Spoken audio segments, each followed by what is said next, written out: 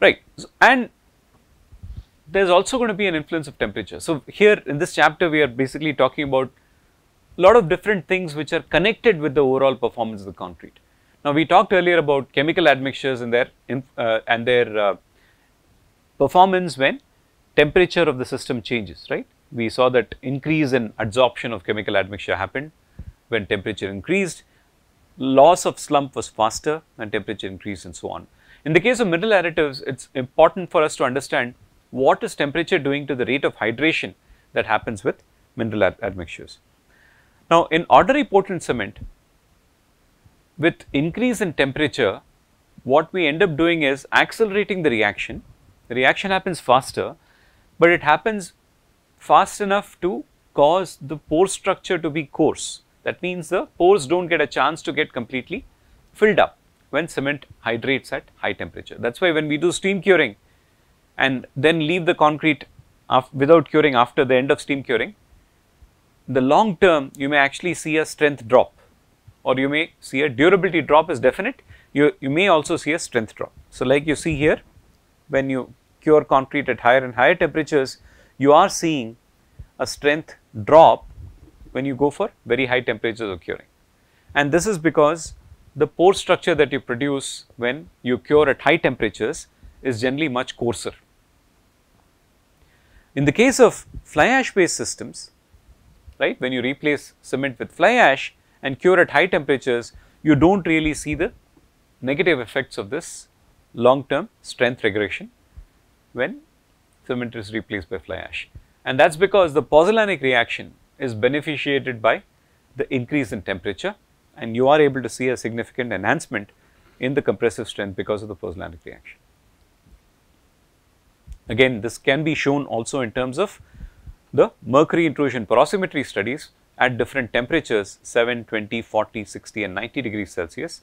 What has clearly happened is as you have gone from 40 to 60 there is a shift in this diameter which we had earlier termed as threshold diameter of pores.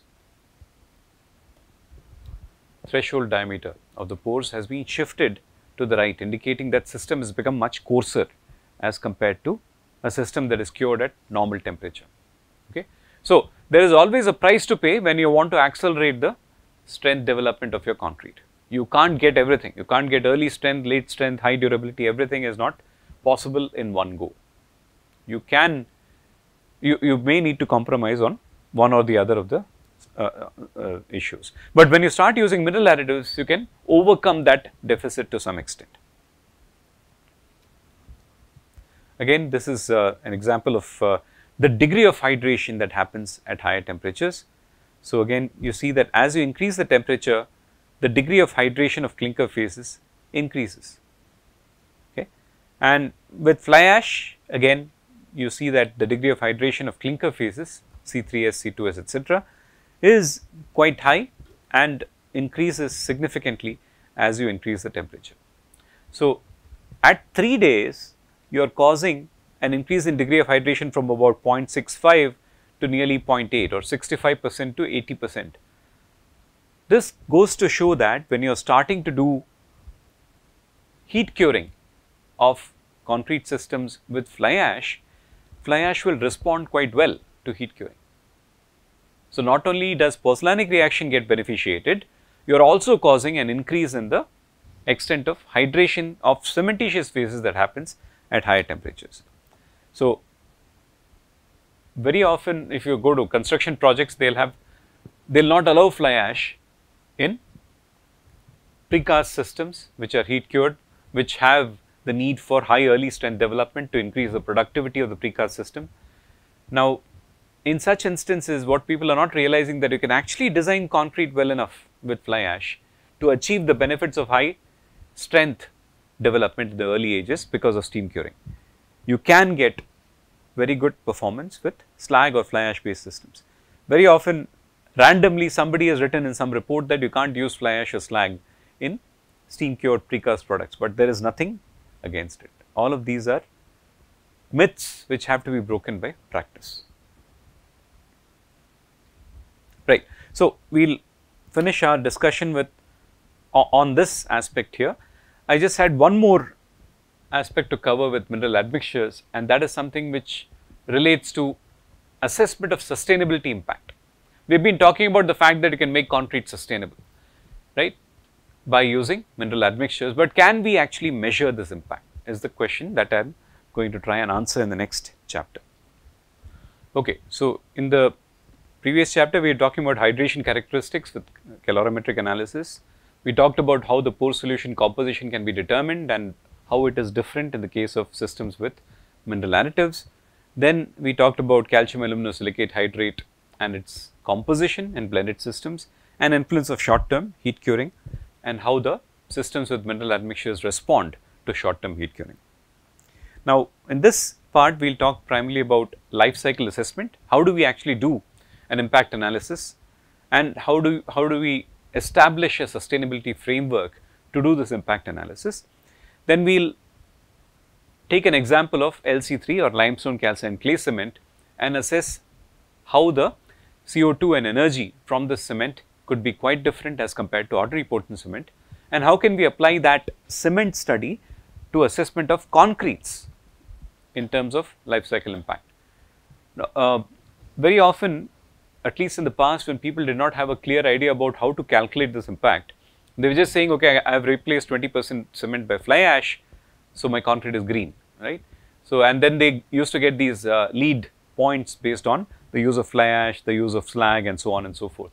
But there was no quantification done as to the effect of these materials as to how they are truly bringing down the CO2 potential other than just saying that okay cement is reduced. So, the extent of CO2 that gets released from that much of cement is now brought down. But then there is other issues also you are transporting fly ash, you are transporting slag from distances right and that transportation involves the spending of fuel and that fuel also releases CO2. Okay. So, again all of these aspects need to be then included in calculations. There are uh, software available internationally which can be actually used, but the data and the software, the database that is available in the software is probably not going to be relevant for many of the geographical regions. These are mainly there for European countries and for North America and we have to start generating our own data to really get a true estimate of what sustainability impact analysis can be done with our materials. So, I mean just to put things in perspective we talked about the fact that LC3 has a clinker content of only about 55 percent, 45 percent is your calcined clay limestone combination and you of course have gypsum to optimize uh, the system with respect to sulphate right. Now overall what you have in this system is that instead of burning at 1450 degrees Celsius, the clinker is burnt at 1450, right. You are calcining the clay at 800 degrees Celsius. Calcined clay is produced with lower temperature burning 800 degrees Celsius. There is no heat treatment of the limestone that you add in the system later, it is only ground together with the calcined clay and cement, right. And you produce LC3 effectively by combining these systems and you can expect that there is a up to 40 percent reduced CO2 emission as compared to OPC because you are reducing the temperature of burning, right. That means less use, usage of fuel and then you are not burning a material which will release more CO2. Much of the CO2 load that comes from cement manufacture is because of the burning of limestone, right. Now, here you are not burning as much limestone anymore, you are reducing the extent of clinker in your system.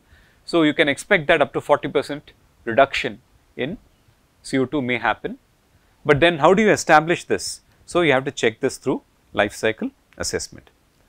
So, the steps involved in life cycle assessment are as follows. First is of course, you need to have a clear definition of the goal of your process. What is your end goal and how do you calculate this goal in terms of what type of functional units. So, for instance, I can say that I am calculating this in terms of CO2 emission per cubic meter of concrete if I am doing a concrete analysis or I can say CO2 emission per kilogram of cement produced. But then I also need to define my system boundary.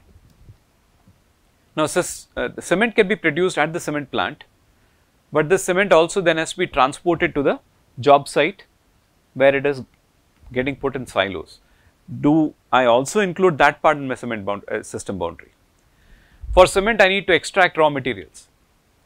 Should I also include extraction of raw materials or should I only start from the process where raw materials are processed and kiln reaction actually happens. So, the system boundary can be quite different based on what you describe.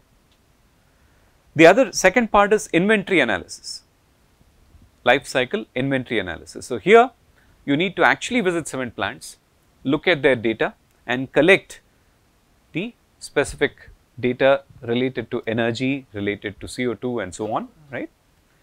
Then the next part is selection of conversion factors and characterization. You also need to see the conversion factors in terms of what is the net emission applicable to a particular system.